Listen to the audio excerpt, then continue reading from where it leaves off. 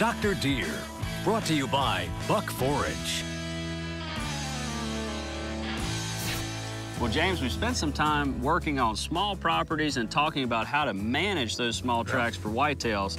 I've got a couple questions for you about native forage. Oh, okay. Uh, first of all, what is native forage? How important is it on small properties, and can we promote and introduce it? Native forage is critical. In any, in any nutrition management program for your deer, the backbone of that nutrition program is the natural forage that's out there. Now, basically, we're talking about just two groups of plants. We're talking about browse plants or brush, and we're talking about forbs or weeds. You know, deer don't eat that much grass. So we're, and we're looking, in the case of browse, you know, the deer, deer zone is this tall. Right. So as long as we keep the vegetation this tall or below my hand, you know, it's going to be available to the deer. Sure. So we're always wanting to do things like firing things to control the, the, the, for, the shrubs that are out there, the browse. Right. Okay. Now, one that, that we get very little attention to is growing forbs or weeds. Okay. And annual forbs or weeds are the ones that the deer really like.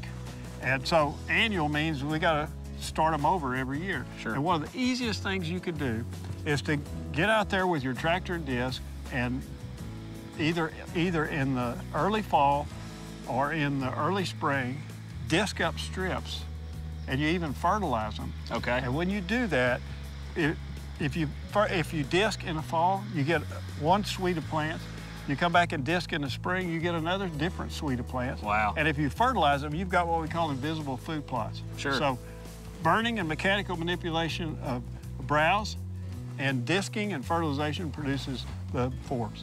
Wow. Well, that's a great and simple tool that anybody can do regardless of their property size. Yes. Like you said, even if you do have a, a series of food plots, just go around the edge, open it up a bit, and all of a sudden you're introducing a, a, a greater variety of plant species Yep. and, you know, some really preferred food sources for your deer. Right. What, what I hope we portrayed in this series is you've got to have a mindset of making food and cover for your deer.